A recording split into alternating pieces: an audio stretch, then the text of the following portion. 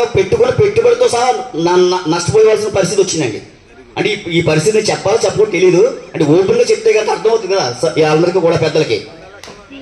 రెండు వేల ప- ఆయన నగ్గారంటే కారణం ఆయన మంచితనం ఆయన చేసిన అభివృద్ధి. ఆయన ఎక్కడి నుంచి వచ్చినా గాని ఇక్కడ మనిషిగా కలిసిపోయి తీసుకున్నాడు. అలాగే అలాగే నేను రెండు వేల పద్నాలుగు పొజిషన్ వచ్చిన ఆ రోజు ఆర్గనైజేషన్ మీ దగ్గర లేకపోవడం వల్ల నాకు ఇండివిజువల్గా ఎవరైతే ఎవరు పనిచేశాను తప్పించి నేను ఎవరు పని చేసారో ఎవరు పని చేయలేదు కూడా ఆ రోజు నేను గుర్తించలేదు. అలాగే నా పద్నాలుగు పది పద్నాలుగు పంతొమ్మిది కూడా నేను హోంమంత్రిగా డిప్యూటీ సీఎం డైరెక్ట్ ఎవరు అన్న డెవలప్మెంట్ చూసే తప్పించి మా నాయకులు కూడా కొంత అడ్రస్ చేశారు. ఈ ఐదు సంవత్సరాల్లో మా నాయకుడు ఎవరు మా నాయకుడు ఎలాంటి వాడు? అన్నది కాన్సన్ట్రేట్ చేశాను. మీ జనసేనలో ఇప్పటికీ నాకు మీకు బాబు దగ్గరికి అన్నవాడు ఎవరు నాకు. నేను చెప్తాను రేపు భవిష్యత్తులో మా అందరం కలిసి చేసినప్పుడు మాకు ఆర్గనైజేషన్ అనుకుంటారు ఇప్పుడు గారు తెలుగుదేశం పార్టీ అధ్యక్షులు చంద్రబాబు నాయుడు గారు. వారిద్దరూ నిర్ణయం మేరకు ఖచ్చితంగా రేపు రాబోయే రోజుల్లో కలిసి పని చేయాలని నిర్ణయించిన మాట వాస్తవమైనటువంటి ముందు చెప్పుకున్నాం మళ్ళీ చెప్పుకుంటామా కాకపోతే ఖచ్చితంగా రేపు రాబోయే ఎన్నికల్లో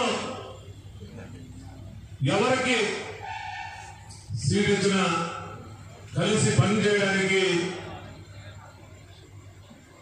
ఏర్పాటు చేసుకున్నటువంటి సమావేశం. మరి మరి ముఖ్యమంత్రి అయిన తర్వాత ఈ రాష్ట్రాన్ని బాగు చేద్దామని ప్రజలందరూ కూడా ఆశించారు.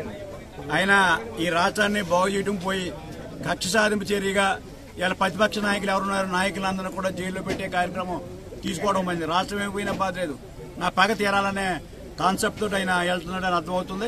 ఇప్పుడు చంద్రబాబు నాయుడు గారిని మరి కే- జైల్లో పెట్టడం తర్వాత ఒక్కొక్కళ్ళ మీద కేసులు పెట్టడం నిన్న బీటెక్ రావు మీద దారుణంగా ఆరు నెలల కిందట మరి ఏదో కేసు అయింది జాతర రావాలని చెప్పి కేసు పెట్టి మరి బీటెక్ రావు గారిని మరి జైల్లో పెట్టడం జరిగింది. అంటే ఆ బీటెక్ రవే కాదు ఏ ఇన్ఛార్జ్ అయినా ఎవరైనా ఉంటే ఆ ఇన్ఛార్జిని ముందు జైల్లో పెట్టండి అయినా తపంతో ఆయన ప- ప- పరిపాలన చేస్తున్నాడు.